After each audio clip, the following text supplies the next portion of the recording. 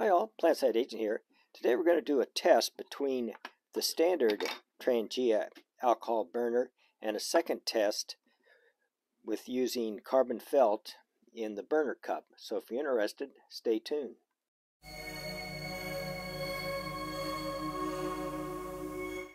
Okay, let's get started. I recently had a commenter asking about uh, a burn test or performance of uh, the uh, Trangia alcohol burner with uh, putting carbon felt inside the uh, burner cup here. Uh, seems like I tried this once to um, didn't impress me, but I can't really remember. It's been a while. Also, uh, seems like I've I have seen videos where people uh, put carbon felt or other uh, wicking material inside the uh, the burner cup of the Trangia to supposedly improve performance. So I really don't know, so I thought this would be a good opportunity just to do a couple of burn tests. One, a baseline without the uh, carbon felt, and a second with the carbon felt. So that's what we're going to do today. So uh, to starter, I'm going to go ahead and uh, set things up for the uh, without carbon felt burn, and we'll get right back to you. Okay, I'm all set up. Um, I'm going to use, for this burn, I'm going to use a, a stand made out of this uh, hardware cloth so that we can get a better look at the burn when it's going. So we make a comparison between the burn with and without the carbon felt. Okay, to get started, I've got uh, 16 ounces of 52, whoop, went up a degree, 53 degree water.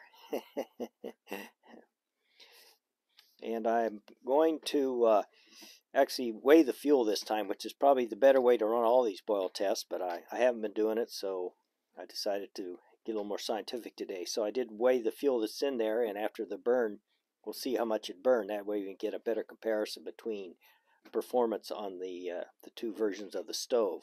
So right now, just for it's 128 grams. So I'll go ahead and uh, weigh it when everything's all done, and we'll see how much alcohol it burned. So anyway, I think think I'm ready.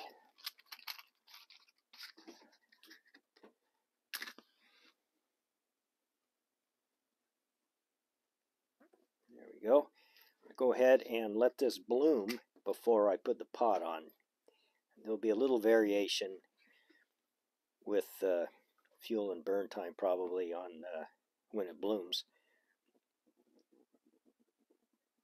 looks like it's about ready.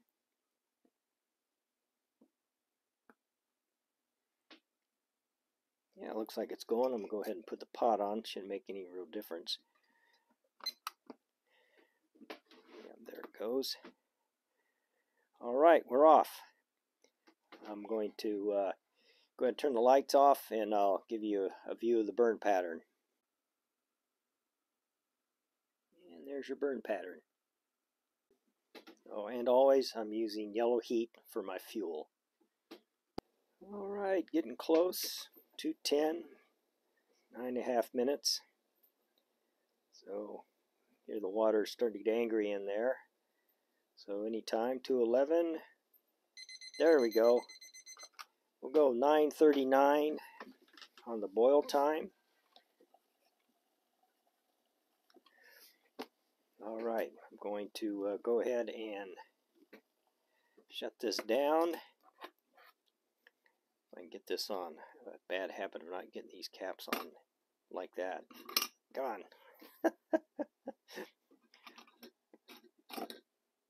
Oops. Okay, I'm going to go ahead and let this cool down so I can measure how much fuel was used and then I'll start getting set up for the next video. Alright, I weighed the uh, fuel usage and uh, the first burn used 22 grams of alcohol. Now I'll start getting set up for the second one. I did, went ahead and uh, put in a coiled up piece of carbon felt. You can see it comes up to oh, just about a quarter of an inch from the uh, top of the uh, the uh, boil cup or the alcohol cup. So I'll go ahead and let things finish cooling down and set up for the next burn. Okay, all set up for this burn. I have uh, 16 ounces of this time 54 degree water. It's 53 last time. Uh, so we'll have a about a one degree error in our burn test, but it shouldn't really make a lot of difference in performance. We'll see. Uh, the stove is, uh, the burner's all fueled up and weighed, and I think uh, zeroed out. Yep, we're ready to go. So we light this guy off and let him come to a bloom.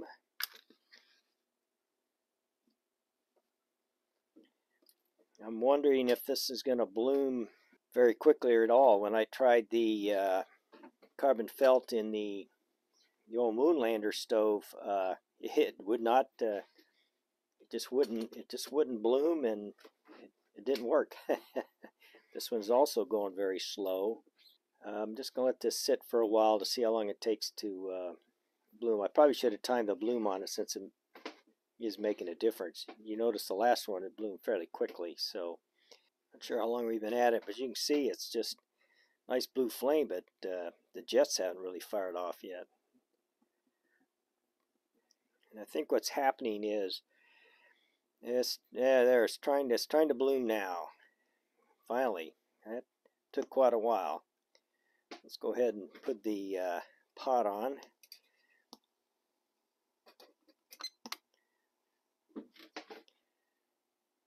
There it's going. It did bloom, which uh, the uh, Moonlander stove did not. So we'll see uh, what kind of performance we get with the carbon felt. And there's your burn pattern. I think it's the same. Yeah, getting close, 210, but we're at 10 minutes and 11 seconds, so definitely slower with the carbon felt and without. The big question is, will it use more or less fuel? Yep, getting darn close. Again, the, the water's angry. There we go. We'll say uh, 1025 on the boil time. So uh, the other one was 939. Well, I'm going to go ahead and uh, power this all down so I can uh, weigh the fuel. See if I can get the uh, snuffer on this time in one in one fall. Hey! So I'll uh, get back to you when I get everything cooled down and weighed. Okay, everything's all uh, cooled down and put away, so let's summarize. Okay, the uh, Trangia burner without the carbon felt, it uh, burned, took 9 minutes and 39 uh, seconds to boil uh, two cups of water at 53 and it used 22 grams of fuel. The uh, burner with the carbon felt in it, it uh, took 10 minutes and 25 seconds uh, for 16 degree 54 degree water, so it was a degree warmer than the previous test, and it used 24 grams, so it actually took longer and burned more fuel. I, I don't know what the science behind that is. Uh, so I, I, really don't see any advantage to having the carbon felt in here, except that maybe you're prone to klutzism or you camp with klutzes that have a habit of knocking stoves over, although this thing is pretty low profile and it'd be pretty hard to tip, not to say it can't be done.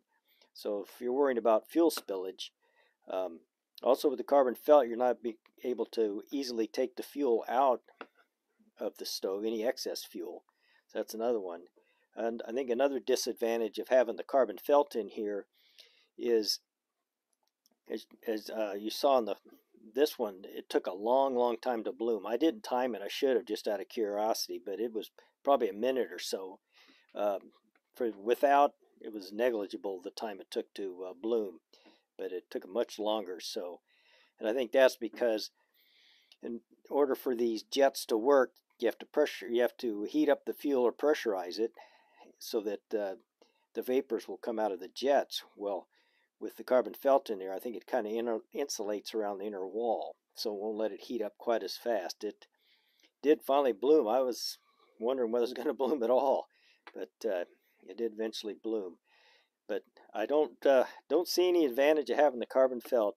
Uh, the only other thing I could think of, it might make a difference if as you can see, the carbon felt is only about a quarter. Maybe if I cut that in half, so you just have enough in the bottom to keep it from spilling, but not enough to affect the bloom, and it might burn quicker. Uh, you know, I, I don't, I'm not going to do that. I, I'm not that curious about it. Um, maybe I will later on if I get bored and want to do it. But for right now, I'm just going to say. Uh, I wouldn't bother. If you want to, that's totally up to you. But I'm just going to use the uh, burner as is. So well, I can't think of anything else to say about this little test, so uh, I hope you guys enjoyed the video, and uh, we'll see you next time. Bye-bye.